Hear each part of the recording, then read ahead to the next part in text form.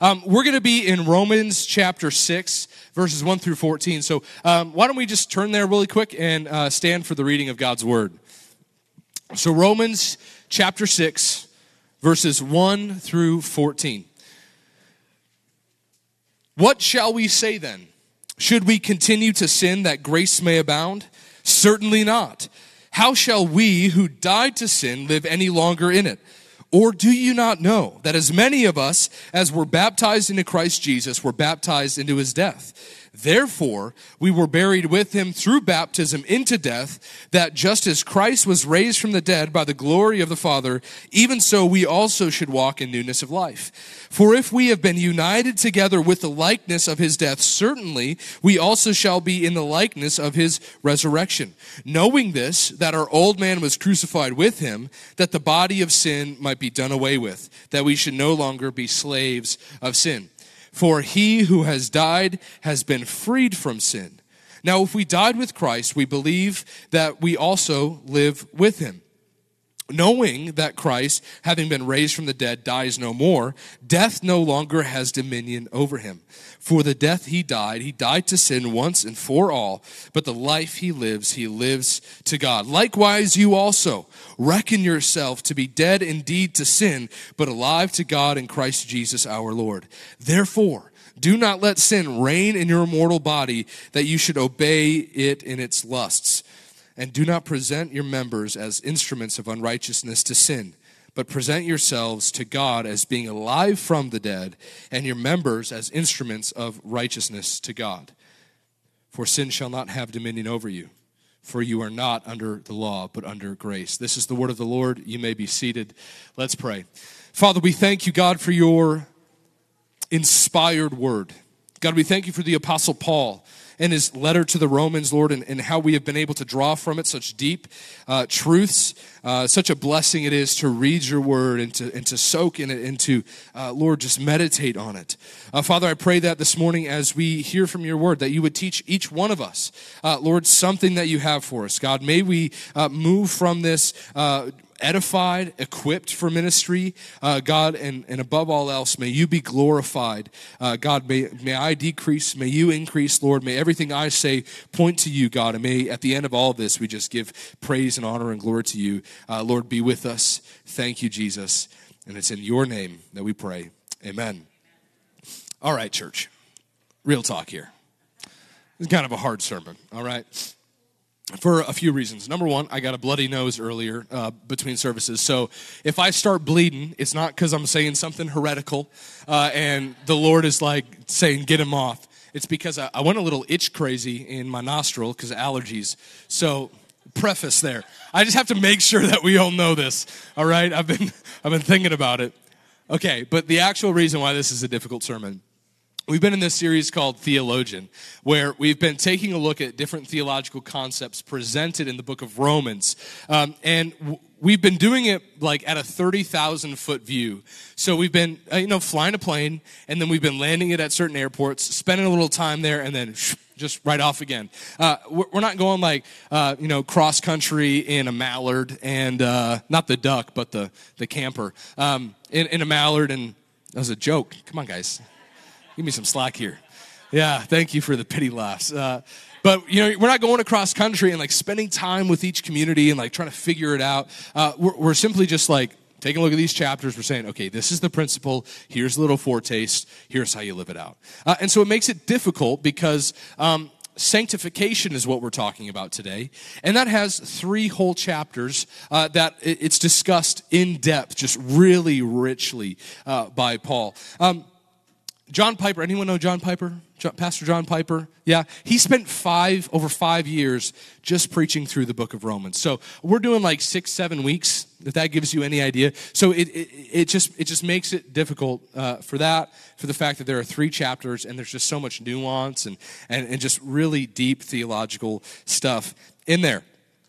Um, so for us to sort of get a, a, really good grip on what Romans 6 is talking about, uh, we need to just jump back a few verses to Romans 5. Um, and so we're going to look at justification along with sanctification today, because you can't really separate the two, because they both happen like simultaneously at one point, and we'll get into all that in just a minute. You'll, you'll see why.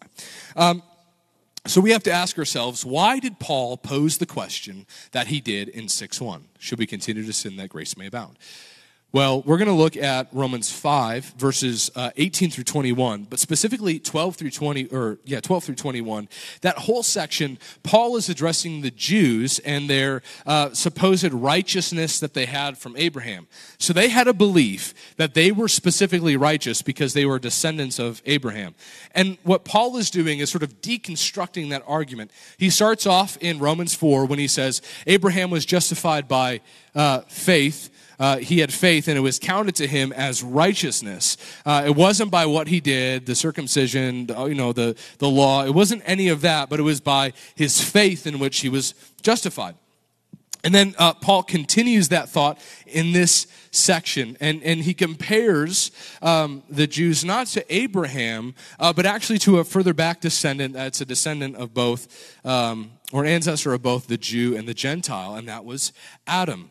And so Paul is making this correlation, this difference between uh, Adam and Jesus. And, and that's where we're going to start off um, for today is uh, Romans chapter 5, starting in, in verse 18.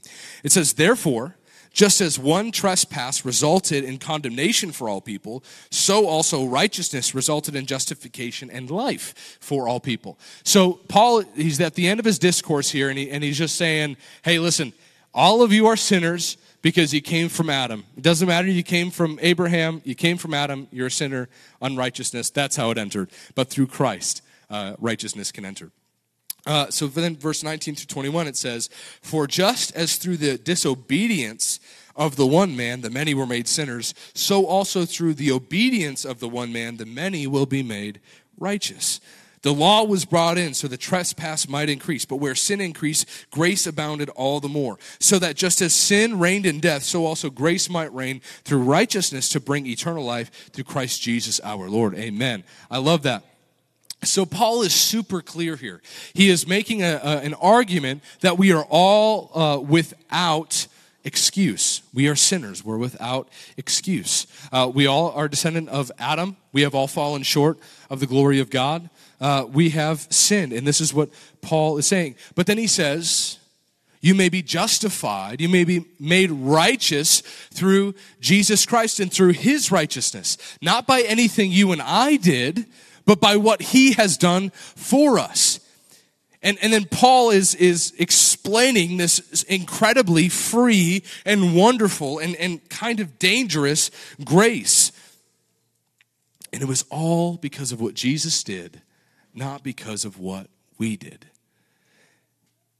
I'm not rich, all right? I'm a youth pastor. Uh, so if you feel me, you feel me. You know what I'm talking about, you know what I'm talking about. By the silence in the room, you don't know what I'm talking about. But I'm not rich. Um, and some of you might be wealthy, but I'm not talking about you either. Uh, I'm talking I'm talking about like Jeff Bezos, kind of rich, you know, like hundreds of billies, got billies on billies, you know. That's what the kids are saying.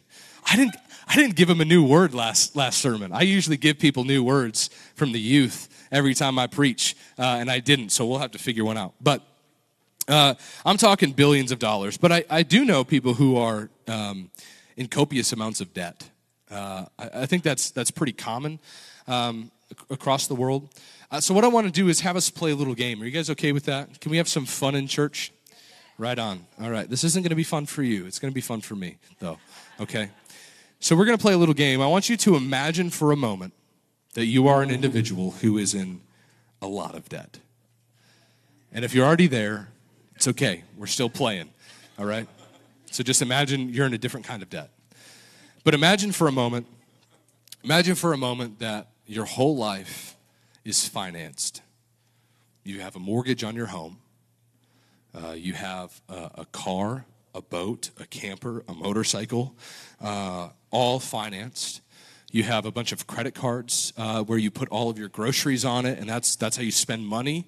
Uh, you have lines of credit through your bank, uh, and then like when you're shopping on Amazon, you found out that there's this thing called Affirm, which is like free money, uh, and so you just start racking up uh, the financing and debt through there, uh, and, and, and pretty soon your whole life is based around lines of credit.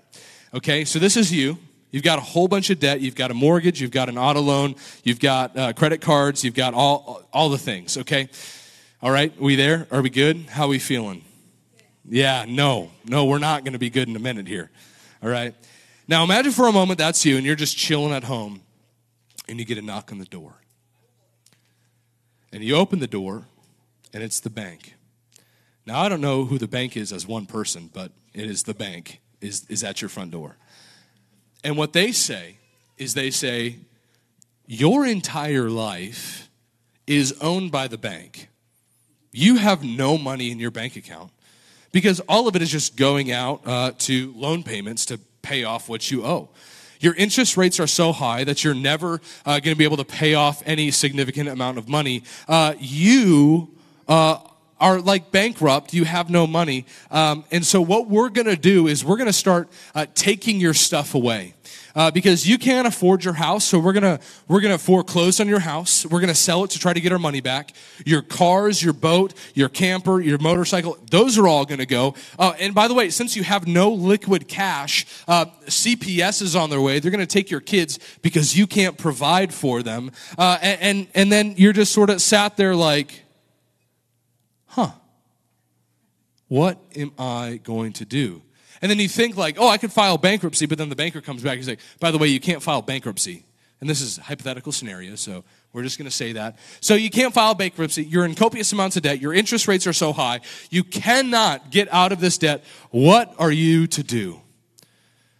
And so after the banker leaves and the lawyers uh, are, you know, they're coming and all the people are coming to start taking everything away, you hear a soft, gentle knock at your door. And he opened the door, and standing there is a man. And he said, Hey, did you just talk with this banker?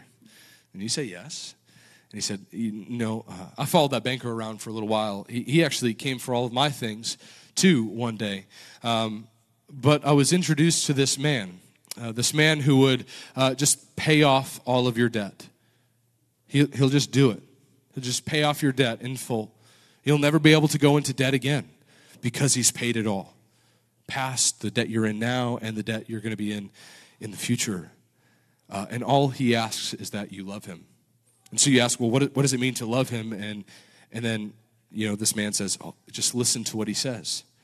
And you say, absolutely. So you get on the phone with the man, you tell him how grateful you are that you're going to listen to him. And so uh, a few minutes later, you get a call from the bank and from the lawyers and from all the creditors, and they say, hey, your accounts have been covered. Um, we'll see you. I think for a lot of us, if we were in those shoes, it would be a, a pretty big wake up call. Pretty big wake up call, maybe to stop spending what we don't have. Um, but also to show some appreciation and care for the individual who paid the debt for us. Maybe we wouldn't go into debt and waste more of their money, perhaps. I, I think, I think it would be a, a wake up call for a lot of us. Um, but I think, I think a lot of us just continue to rack up the debt in a sense of uh, sin. If, if you haven't been following, this has been an analogy of what Christ has done on the cross for us in our multitude of sin. And I, I think that we just continue to build this up. And, and this is the struggle of the Christian, right? We, we've been saved by grace through faith in Christ alone. And we just sort of go on uh, doing the same old things, yet we don't want to right? Like we, we say we want to follow and pursue Christ and grow more in the image and likeness of Him, and yet there's this part of us that just wants to sin, that wants uh, to do bad, um, and, and we just love to pursue uh, the crap of life. Uh, and, and if you, um, and you can't say otherwise. I, am going to just say this. You can't say otherwise. No one here can say otherwise about yourself uh, unless you are sinless. And what First John says that if you say you have no sin, then you deceive yourself and the truth is not in you. So you've just lied and, and now you have sin in you. So either way, we're good. We're on the same field here, okay? Because of the boundless grace of God, because His grace is so free, the justification is so free that it's nothing that we do, it can be really easy for us to become licentious, which means uh, to think we have a license to sin, uh, where we can just go about doing all these things, continue to sin so that grace may abound.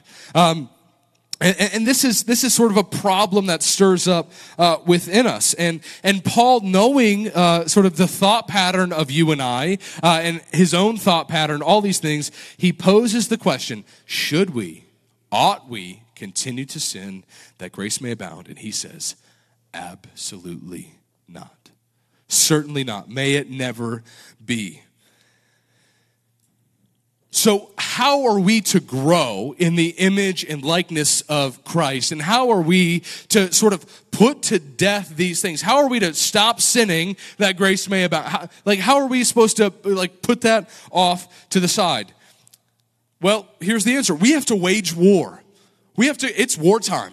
Like, like we're not we're not living in peace and pride. Like it is wartime right? Right in here, in this heart, in this mind, it is war time. Church, we are justified by faith. Like, salvation comes not from what you have done, but from what Christ has done.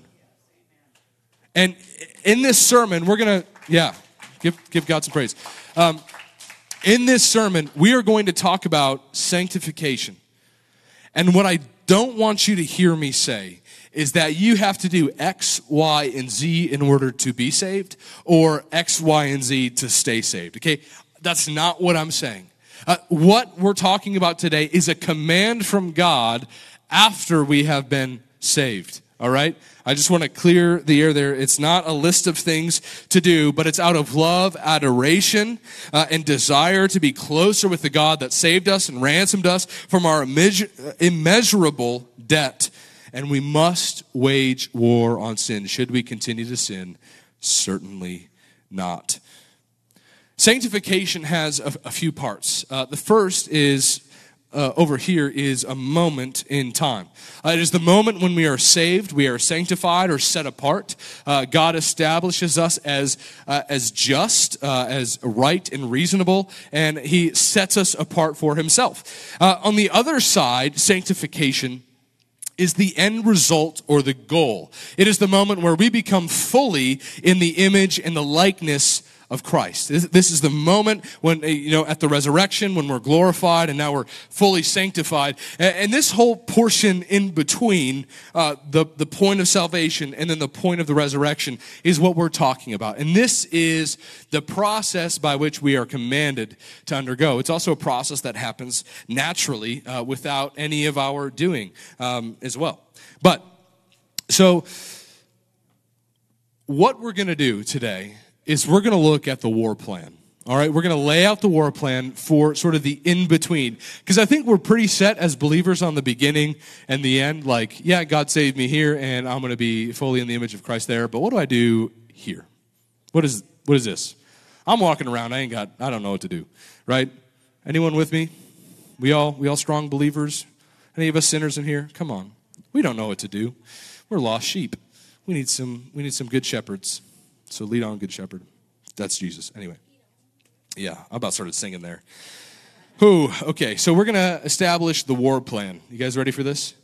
All right, so the four steps to the war plan. Number one, uh, we need to reason with the Word of God. We need to reckon ourselves dead to sin. We need to resist sin, and then we need to uh, replace sin with the things of God. All right? So, step number one, reason with the word of God. So, reason with me, family. Uh, this is verse three. Or do, oh, excuse me, verse two. Shall we, hold up, sorry, certainly not. How shall we who died to sin live any longer in it? All right. So Paul is making a declarative statement, a description of who you and I are. He says, We are those, we them people, who are dead to sin right? This is a description of who you are. Uh, so, church, if you are alive in Christ, guess what else you are? Dead to sin. Dead to sin. And we're going to talk about this the whole time. All right? Uh, as we like to say in the office, D E D, dead. All right? That's how you spell it. You are dead to sin. D E D. There ain't no A in there. All right? But Paul is writing to a church in Rome that likely has never had an apostolic presence there before. You know, this church was likely formed after Pentecost and uh, from young believers, and so uh, maybe maybe they're unaware of what this all means, and so maybe we're also you and I are unaware of what this all means. So, verse three: Or do you not know that all of us who were baptized into Christ Jesus were baptized into His death? Right? Because baptism signifies the spiritual death that uh, and, and resurrection uh, that we undergo in Jewish culture. It was the final ritualistic cleansing uh, that uh, a Gentile would undergo, forsaking paganism and turning toward the God of Israel. All right? Uh, in the same way, uh, it symbolizes our death to sin, right? Because we have been baptized into death with Christ and then raised to new life, okay? Therefore, now, verse 4, anytime there's a therefore, what do you got to do? You got to ask what it's there for, okay? This is really good. In hermeneutics, uh, therefore, connects two phrases together. Uh, conjunctions, is that what is? I'm not an English guy. I speak it, but um, what is it? Megan, you're an English person. Conjunction. Yeah, there she go. All right, so it's a conjunction. It connects two conjunctions, and therefore is an inference. The phrase that follows is an inference of the preceding statement.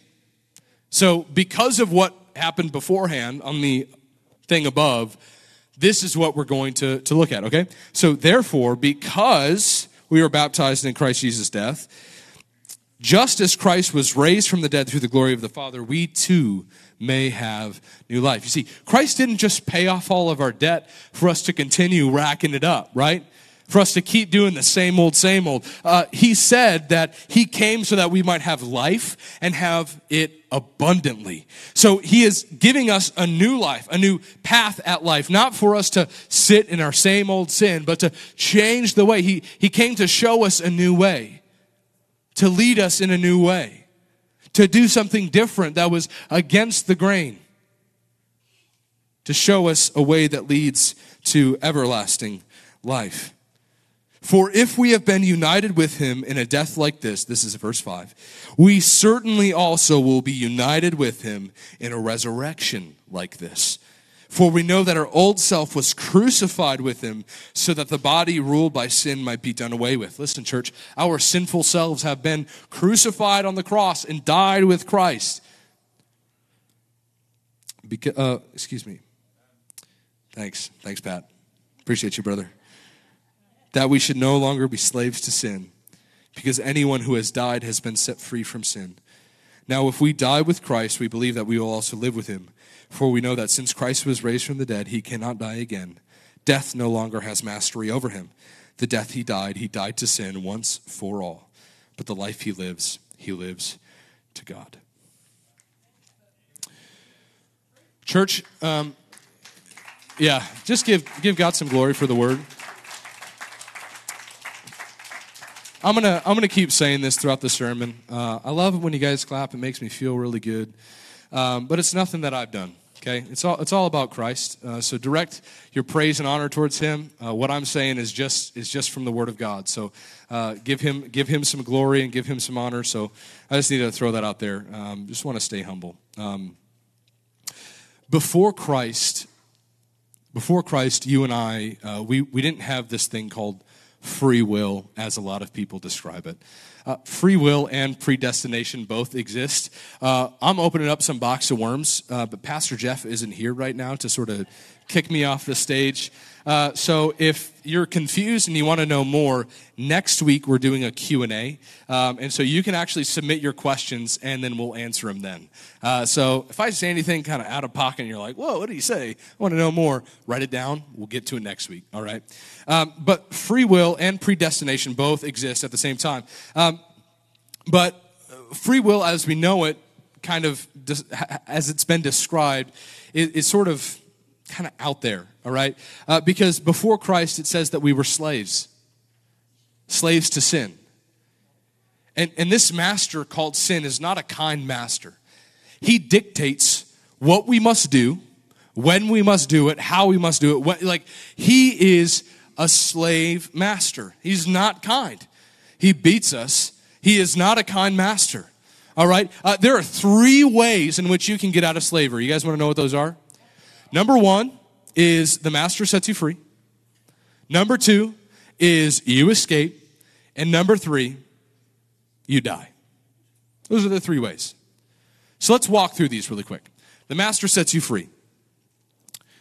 Sin is not a very nice master.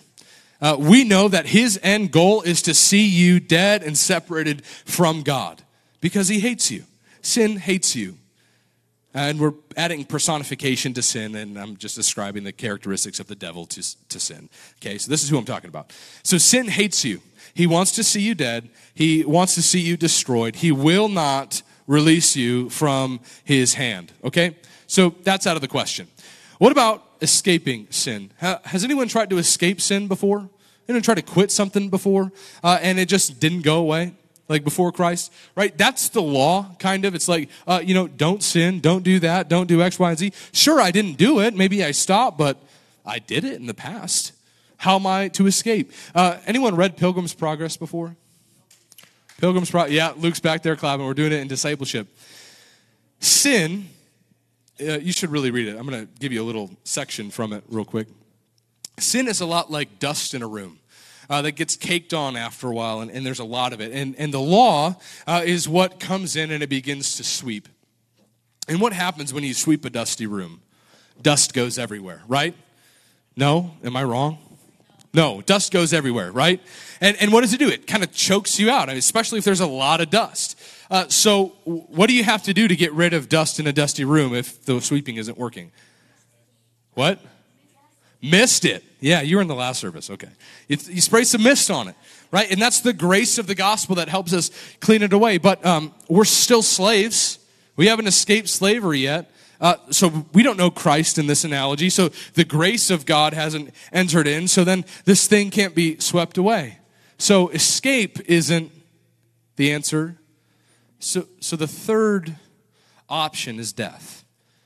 Death is the only escape the only way for manumission to occur. That just means freeing of slaves. I learned that. I learned that yesterday. That was pretty cool. That word, manumission, you can write that down. Spelled exactly as it sounds. Just don't ask me to spell it because um, I don't know how to spell. Um, anyway, but death is the only way. And so we can either die in our sin uh, but when that happens, the, the master sin wins and uh, we are separated from God eternally. Or we can die to sin and be alive to God in Christ Jesus. And when, and when we experience a physical death, we will be united with Him. So death is the only doorway out of this slavery.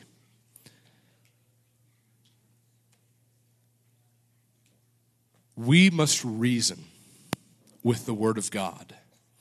When it says that we are dead to sin, surely it means we are dead to sin. Amen? And, and I want you to understand this so much, church, because if we don't understand the basic concept of this, that you are dead to sin, descriptive, uh, then the rest of the things that come after this aren't going to make a whole lot of sense to you, and it's going to be overwhelming. So, church, re- remember this promise. You, right now, in this very moment, if you are in Christ, are dead to sin. All right? Amen. Let's take a break from this deep stuff for a second. One of my favorite directors um, directed two movies that I really love. Uh, the first one being The Green Mile. You guys know The Green Mile? And the second being Shawshank Redemption. Yeah. Um, don't go home and watch the Shawshank Redemption with your kids because it is uh, graphic. Um, so this is your warning. Don't do it. No laughs? Good. All right. Just cross that joke out of there. All right. See, and that's how you get back. All right. But Shawshank Redemption, uh, I was thinking about the other day because I think Pat, Sophie, and I were talking about it as one of our favorite movies. And uh, I, was reminded when talking about sanctification, uh, the librarian in Shawshank, Brooks, you guys remember him? Had the little crow and uh, went a little crazy there at the end. Um, he, was, he was a lifelong prisoner, right? lifelong prisoner. And the parole board finally granted him freedom. And so he gets out, he gets out of prison, and he's sort of in the real world. Um, and he sees these cars driving around, but cars really weren't a thing when he went into prison. And so he's like trying to figure out how to live with those. Um, you know, the prison had a very strict schedule of when you could use the bathroom or, or do uh, X, Y, or Z, whatever. And so he is, his whole life is like controlled by his former schedule in prison. And, and I was thinking about, I was thinking about this, this circumstance he was in.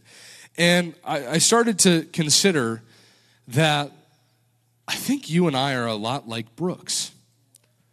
I think you and I are a lot like Brooks.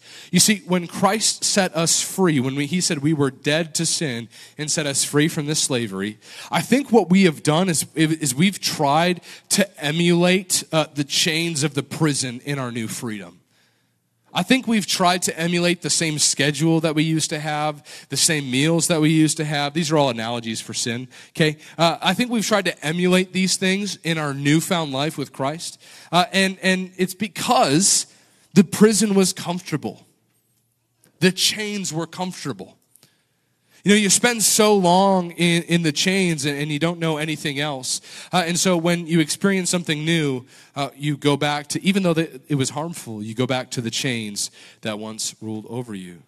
And uh, it's a sad story because in the end, uh, Brooks ended up taking his own life because he couldn't cope with the change. He couldn't cope with the fact that his chains weren't with him anymore. And this is common even in real life. Uh, I mean, former prisoners ha- have a higher likelihood of going back to a prison, not because they just want to commit crimes, but because the outside world is, is a little bit scary and harder compared to prison. In prison, life is a little easier, it's a little bit more comfortable. The chains are there. And, and then, you know, we see everyone around us not struggling with some of the stuff we are. You know, we come to church on a Sunday, it's like, man, everyone seems so happy. Everyone seems so kind. It seems like nobody has any real problems going on. Um, and, and like we just feel alone and lonely. And so we turn back to our prison that we might receive some sort of comfort. It's, it's one thing to understand what it means to be dead to sin. Like, sure, I'm dead to sin. But it's another thing to actually know what it, it causes us to do or know what it means for us, how we live it out. And, and here's what verse 10 says In the same way, reckon yourself dead to sin, but alive to Christ. That word reckon really it means consider or count yourself as. Count yourself as dead to sin, but alive to God in Christ Jesus. Consider yourself dead to sin. And, and, the second part, but alive to God in Christ Jesus, is so important. You know, I, I don't understand psychology all the time, uh, but I know that negatives, like negative reinforcement, Jake was just telling me about this, uh, that negative reinforcement uh, makes us focus on the negative, uh, and then we just sort of end up stumbling back into the negative. So, like, if we focus just on how prideful we are, and we say, "I need to kill this pride," uh, it's it's discouraging. But as we get to know Christ and we, and we pursue Him, um, we become conscious of our pridefulness and our impatience, for example. Uh, and, and, as we grow with Him, uh, they're presented opportunities to grow in humility and grow in patience. Not just because impatience and pride are bad, but because patience and humility are life giving. You see, this is the abundant life that God has called us to is to live a life of, of humility, of patience, uh, of love, joy, peace, all, you know, the, the fruit of the Spirit. Like these are the things that bring life. So it's not just about killing the bad, but it's about pursuing the good while also striking down the bad. So that's all well and great, but how do we do this? I think that's really the question that we've been building up to get to, and I have about 10 minutes to answer that. Um, that's really the question. How do we go about doing this? How do I go from running back to my old chains to uh, putting sin to sleep? And by sleep, I mean putting sin to death in my life. Uh, well, we, we've looked at the first two. We have to reason with the Word of God and understand that we are dead to sin. Listen, it is not about what you do, it's about what's already been done. You didn't earn it, all right, church? You didn't earn your salvation. It was a free gift to you. So if you didn't earn it, there's nothing you can do to lose it, right? If you didn't earn it, there's nothing you can do to have it stripped away from you. I know that from Romans 8. It says, For I am persuaded that neither life, nor death, nor power, nor any created thing can separate us from the love of God through Christ Jesus our Lord. And, and that's the word. And so I'm opening up another box of worms that I'm not going to have time to answer. But again, next week, Q&A, write the answer. We'll get to it. So, number one, we must reason with the Word of God. And number two, we must consider ourselves as dead to sin. Because He has set us free, we are free. Therefore, we ought to live like we're free. And then, number three, once we've reasoned with the Word of God and once we've reckoned ourselves dead to sin, we can begin resisting sin. Therefore, again, always figure out what the therefore is there for. Therefore, because you're dead to sin, and because we now consider ourselves dead to sin, we do not let sin reign in your mortal body that you obey its evil desires. Listen, church, I am persuaded that when we sin, it is a willful choice of disobedience. We have the choice between doing what is good and what is reasonable and what is just and what is God honoring and doing what is, what is abhorrent to God. We have a choice and we choose between each. You see, when we were slaves to sin, we didn't have a choice. There was nothing we could do. We just had to sin because we were mastered by it and a slave to it. But when Christ ransomed us from that slavery, we were given a new nature and we were given a new option to pursue the righteous thing. And so when Paul is saying, therefore, don't let sin reign in your mortal body, like this isn't up for debate. Like it's right here in the book. And that's what this, that's what makes this hard. It's right here in the book. And Paul says, don't let it happen. How do we do that? That's the other question. I think that's the question that you and I have been wrestling with for a very long time. How do we ensure that sin, that we resist it? Here's what we do we're going to pretend that that pillar is a line. And on this side of the room is sin. And this side of the room is righteousness. All right? What we're going to do is we're going to stay away from sin. This is, this is the resist. This is number one under there. Stay away from sin. And this dividing line right here is the threshold from crossing over from righteousness into sinfulness, okay? And I think what a lot of us do is we just ride on up to this line and we're like, oh man, I want to get see how close I can get to here. All the fun's right here. I can't go over though because that's sin. Can't go over it. So I'm just going to stay right here and then you know pretty soon you're stumbling over. Let me give you a good a few practical uh, things here. Um, you might be under uh, you, you might be an individual who um, was like I was in college, where um, you know the moment alcohol touches your lips, you turn into a party goblin. Um, and so, riding the line right here uh, and being close to going over is simply just having a sip of any sort of alcohol, and then uh, your weakness of your flesh just sends you into a sinful binge rage. Um, okay? This might be you. And so, what you have to do in order to not cross the line is take a step away and say, Hey, I'm not going to go in a bar.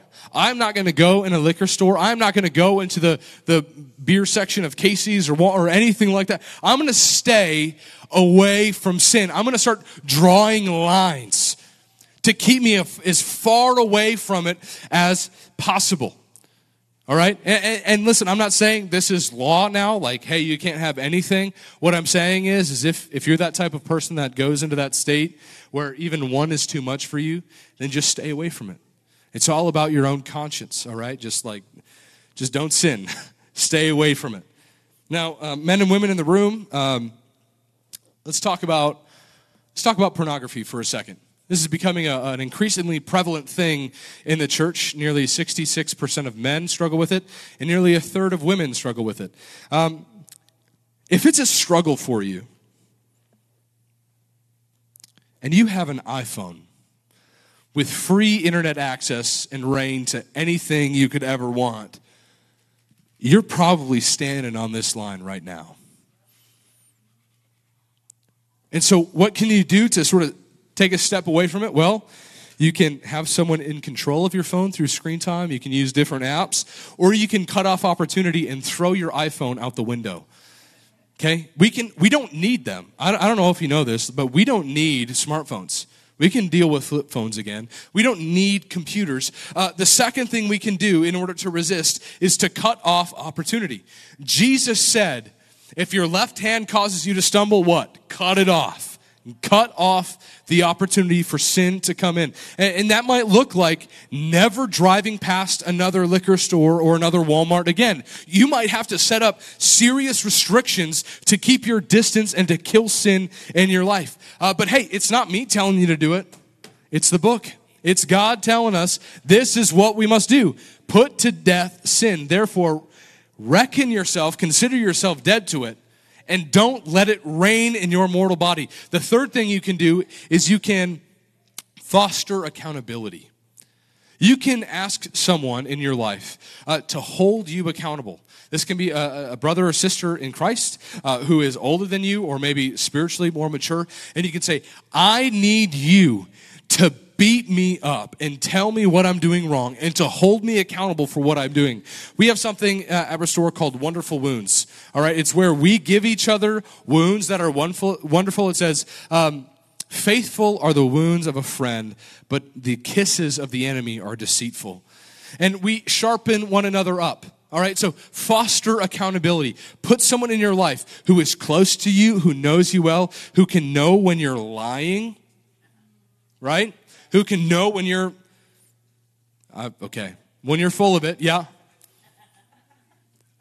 Put someone in your life who can call you out, call you to repentance, and help you grow more in the image and likeness of God. Listen,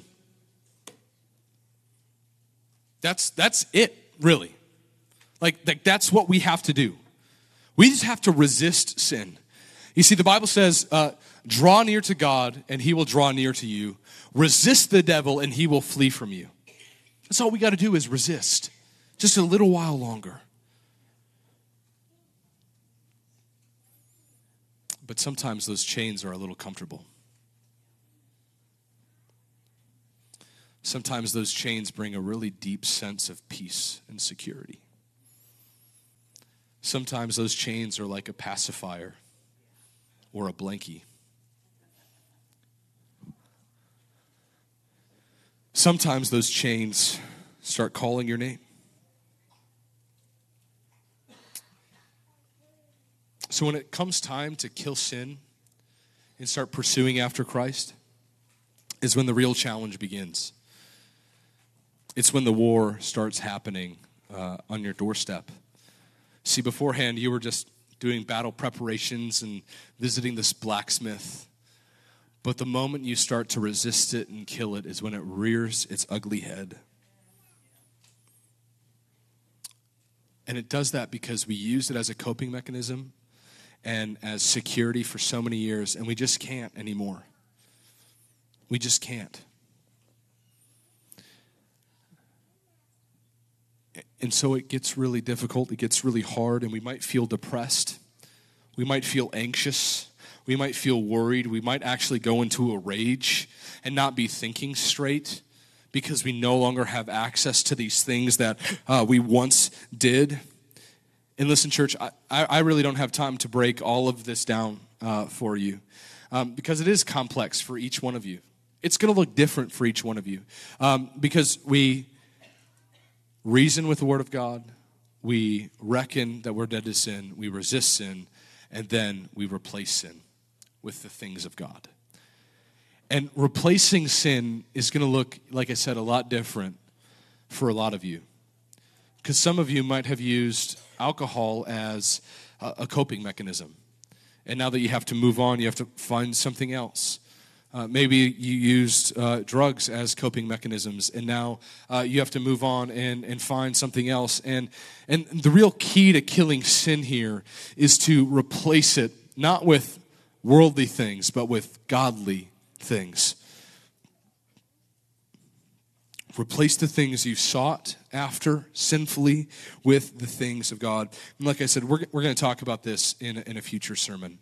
Um, in a few weeks, uh, we're going to be going through Romans, I think 12 again. Uh, that'll be two weeks from now. Um, and we're going to look at some practical ways in which we can live out our faith. Um, but for the time being, I, I want to bring you to the book of Philippians. Oh, flipped right there. Let's go. Come on. I want to bring you to the book of Philippians. And I want to share with you some things that uh, Paul encourages the church in Philippi with, and I think it will encourage you as well. Uh, finally, brethren, this is verse 8 whatever things are true, whatever things are noble, whatever things are just, whatever things are pure, uh, are lovely, whatever things are good, of good report, if there's any virtue, if there's anything praiseworthy, meditate on these things. The things which you learned and received and heard and saw in me, these do, and the God of peace will be with you. Uh, so, church, we need to just resist sin. Um, we need to move past the old elementary stuff of, you know, how does Paul say it in Hebrews? I, I can't recall. But church, we need to we need to grow a little bit. We need to set aside sin and see it for what it is, that it's death. And we need to reason with ourselves. And this is where it gets hard because I'm kind of getting in your face now. We need to reason with ourselves that God has called us dead to it. You are dead to it as a believer. And then He has called you to consider yourself dead to it. And that's where it gets tough. And then He calls you to resist it, to say, don't let sin reign in your mortal body. And that's when our flesh just gets mad. That's when we get mad. And then the word says, replace it. How many mothers are in the room here? How hard is it to uh, get your kid to stop sucking on a binky? I don't know. But I, I'm, I'm assuming it's hard if they do it. And, and that's what and that's what sin is like. It's hard to, to get them off. It's going to take time. Um, there are some promises in the end of your bulletin that I want you to take a look at quick. Pull them up. End of your bulletin. Um, I want you to this week to look at those and I want you to write them on your heart and truly believe them. There is nothing you did to earn this grace, this salvation that you have. There's nothing you can do to lose it. You are dead to sin.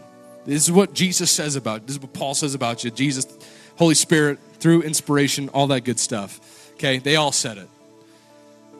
You are dead to sin. And it's going to take a little while. And it's going to hurt. And it's going to be rough. But that's what this process is about. And it's, it's not going to happen overnight.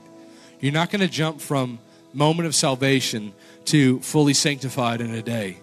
It is going to take a while, church. So be patient. Grow in patience and meditate on the things of God and replace the sin that we clung so deeply to, replace it with godly things. And I don't know what that looks like for everybody, but we can work on it together.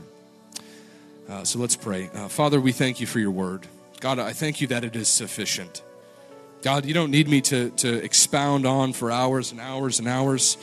Um, Lord, you just you just need your word and it speaks life to us.